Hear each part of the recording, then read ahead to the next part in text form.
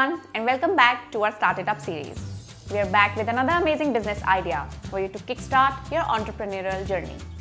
If you love cooking and are passionate about hosting people to your food, then you can start a simple yet interesting tiffin or more famously known as a dabba service business.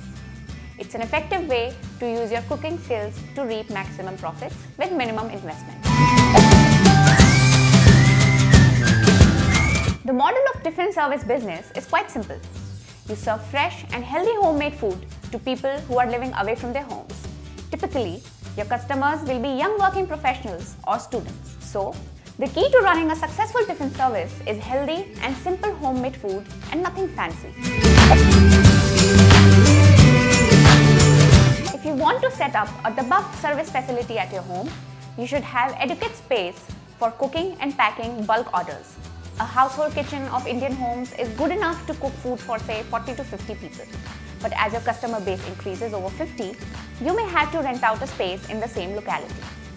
Next step is to get a food and safety license from Food Safety and Standards Authority of India. However, this is mandatory only for those businesses that have an annual turnover of 12 lakh or more. For marketing, Dabba service mainly works on word of mouth. Positive feedbacks are what will get you more customers.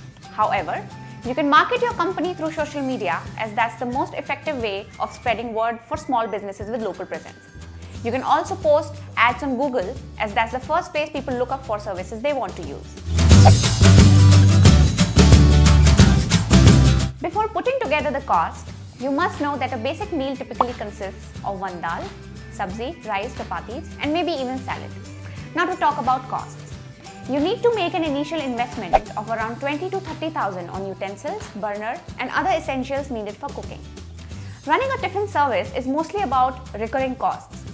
Foremost, groceries will cost you per person each day for two meals around rupees 100.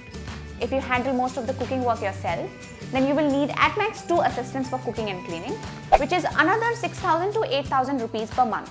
If you wish to provide door-to-door -door delivery, then you'll have to shell out around 8 to 7000 extra. However, door-to-door -door delivery also means that you can charge 10 to 15 rupees extra per thali. Make sure that all orders that you take are within 4 to 5 km from your house so that food delivery, if you choose to give it, does not take more than half an hour. If you rent out a medium-sized shop, it will be another 15 to 20,000 per month. Now, when you start your business, we'd suggest that you post Google ads to get traction.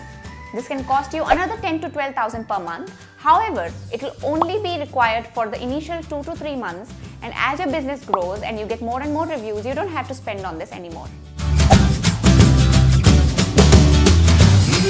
Once you have a sizable customer base of say 50 people, you can generate good revenue on your business. Cost of a thali can range from 70 to 90 rupees depending on the number of items you are providing. A thali with two vegetables, rice, salad and chapati will cost you around 80 rupees.